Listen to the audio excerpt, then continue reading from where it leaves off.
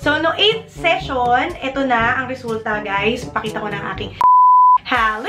It's Lolly! Welcome back to my channel. So in this video, I'm going to be updating you with the results from my Diode Laser Hair Removal Treatment. If you want to know more about Diode Laser, please keep on watching! Lollipop, lollipop, oh, lolly, lollipop.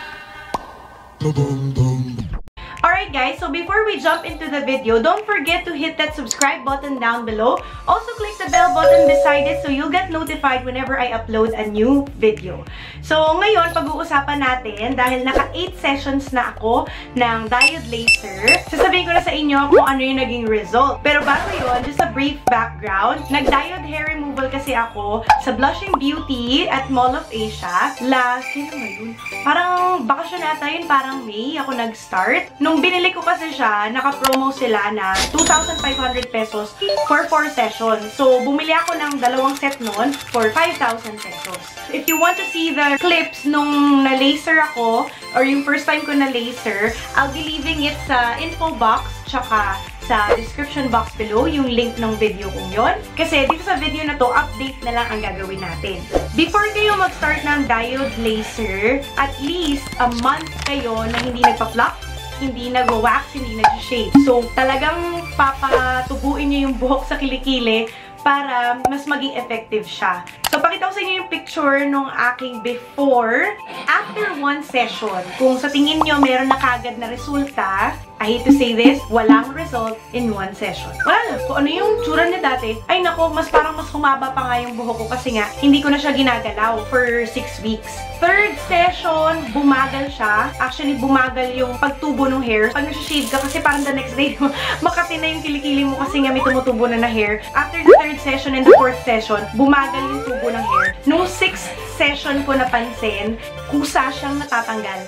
As in, hindi mo na kailangan ng tweezers kasi kaya mo siyang hatakin. Tapos kusa siyang nahahatak. Parang wala siyang roots. So, napansin ko yun na 6th session. Pero no, actually, no 7th session, sobrang kapal ng buhok ko. Natanggal na nga yung iba ng kusa. Pero parang mayroong bagong wave ng buhok. Alam ko talaga parang ano eh, parang inis na inis na ako. Sabi ko, ano to, 7th session ko na. Bakit ganun? Ba't ang dami pa rin? So, no 8th session, ito na ang resulta, guys. Pakita ko na ang aking hiwi-hiwi. As you can see sa screen, hindi siya alata. Pero pag zoom in ka, pag zoom in, na hindi na kaya ng camera, maliliit yung buhok na parang ano, yung parang balahibo mo, tapos manipis na manipis siya. Pero may mga parts pa rin siya na makapal. Dito sa side na to, meron makapal pang dalawang strand. Tapos merong matira dito, mag-isa lang siya. Ayan guys, ako masaya ako, satisfied ako sa, sa 8 sessions. Tapos ganito yung itsura niya. Biruin nyo, 8 sessions. Hindi ko ginagalaw yung kilikili ko. Kaya, ayan, ang saya-saya. Ayan siya. Siyempre guys, kung pinakita ko lang yung kilikili ko, di ba ang bilis ng video na to. So, sasagutin ko yung mga frequently asked questions sa akin doon sa previous video ko regarding diode laser para kahit papano meron kayong idea kung gaano siya ka-effective and kung ano ba yung mga do's and don'ts kapag nagpapa-laser. Ang init kasi walang electric fan. Alright, game. So, question number one, does it hurt?